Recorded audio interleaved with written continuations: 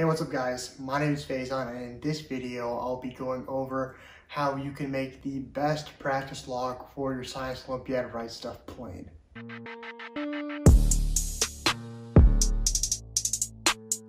Before we get into the video, please be sure to leave a like, drop any questions, feedback, or video ideas in the comments below, and please consider subscribing to the channel because I post new videos just like this every Tuesday, Thursday, and Saturday.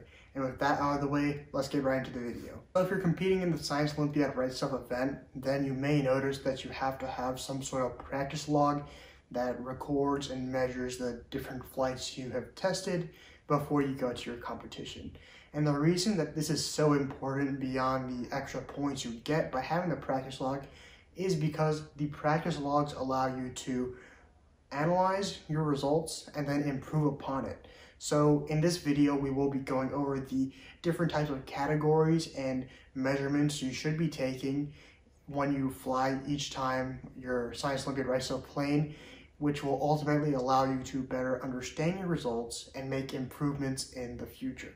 And also at the end of this video, I will be going over, or I will be giving you guys access to the practice log that will have all the different uh, measurements and different things that I discuss in this video. It will all be on one document that you can find, link in the description below. So for some general measurements that you should include in your Wright Stuff practice log is obviously you should have the amount of time that your plane was flying. So we call that time aloft, which is just, again, the time that the plane was in the air for. But another thing you should be recording before each flight is the weight of your plane. And I find that this is something that may change depending on if your plane broke and you had to repair something or it was sitting and it gained humidity or something and it gained a little bit of weight or you did something else and it happened to gain a little bit of clay, a little bit of weight. I think it's just a good idea to make sure everything is consistent before each flight, so meaning that the weight is consistent each and every time.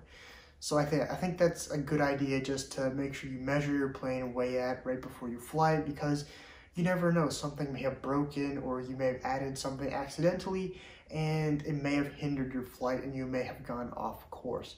So good practice just to get the weight down. But uh, the third thing that I want to tell you guys about generally is the ceiling height, the maximum ceiling height that your plane went to.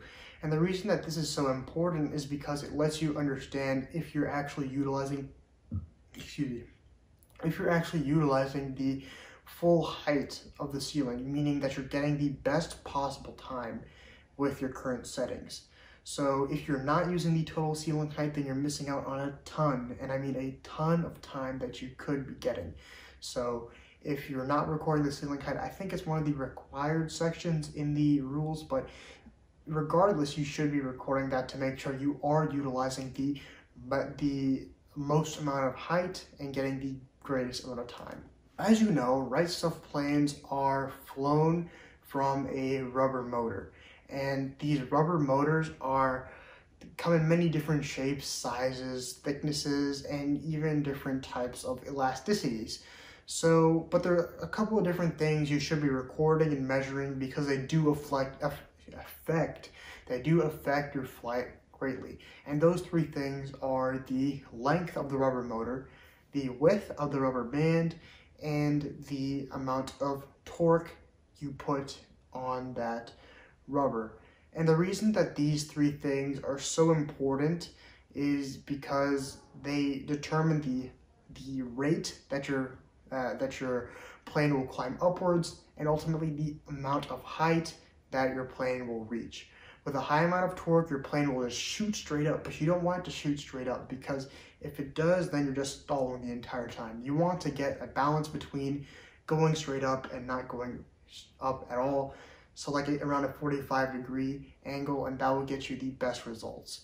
So you want to measure the length of the rubber band loop and if you and this is just generally if you decrease this, the length of the rubber band loop you'll have more torque.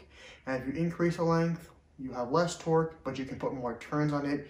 And if you have a thicker rubber then you'll have more torque. And a thinner rubber you'll have less torque. But with a thinner rubber you should be able to get more winder turns into that rubber motor.